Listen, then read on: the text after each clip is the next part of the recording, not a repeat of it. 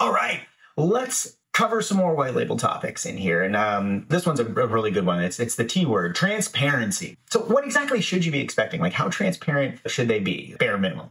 One, like you need to be making sure that they're the type of folks that want to meet with you. You don't want somebody that's so low touch that they're just saying, "Hey, like give us access, we'll run your ads, and you'll see them in your ads manager, or we'll just send you a, a monthly report." That is not what you want. Those people are not going to be kind of in tune with your with your needs and your clients' needs, even if they are kind of like in kind of similar similar niches. Like uh, we know at IPPC, like we've identified, you know, the 64 smart niches that just kind of work really dang well.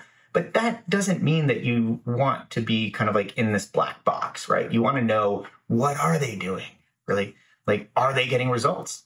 Did the thing they just try work? Did it not work? How are they going to apply it later on? Like you need to be able to know those types of things. So I'd say if you're in the space kind of like evaluating white label partners, you'll, you're going to want to know a few things in terms of transparency. Like, you know, do they have a reporting cadence? If so, what is it? At IPPC, it's weekly uh, weekly catch-ups uh, that we send via email, and then uh, a full-scale report that goes each and every month with a required meeting with you. That's right, required. We want all of our partners to meet with us every month because we need to make sure that they know what we're doing in there and that they can articulate it to the client as well. Because um, a lot of people come come to IPPC because it's not necessarily, or to go to white label providers because that's not necessarily their core competency. So they need to have these meetings to make sure that they can maintain that client relationship, right? Um, so you're going to want to know uh, what's the reporting cadence like, and then if they're meeting with you, if they're not do they have any kind of dashboard for you? Are they have they built something out where you can look at it at any given time? I mean, of course, you have the, the Google Ads uh, account. Like you'll have access to that. That's a total thing. That should be your account. That's also a transparency thing. You should be granting them access via their MC, MCC or what is it, Google account, Google Ads Manager, Google Account Manager, or GAM, I think it's now called.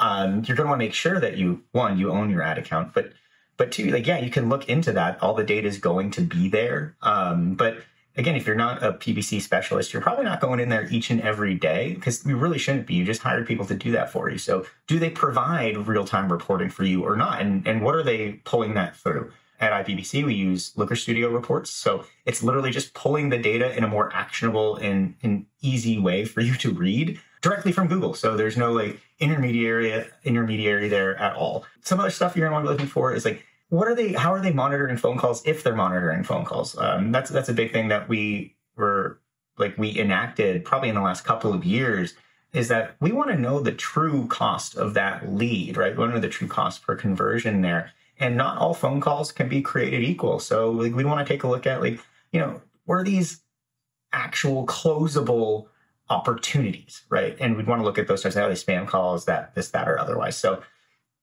it's all about transparency when you're working with a fulfillment center.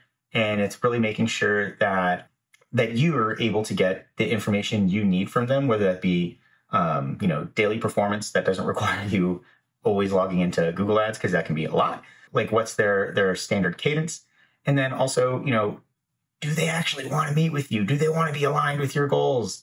Right? Or they do want do they just want you to cut a check? Right? So when it comes to transparency, those are things right there. So uh, if you're, again, looking for a white label service provider, you kind of heard how we do it. You kind of heard what we believe. If you're interested in that, check out IPPC, so invisibleppc.com, or just throw something in the comments there, right?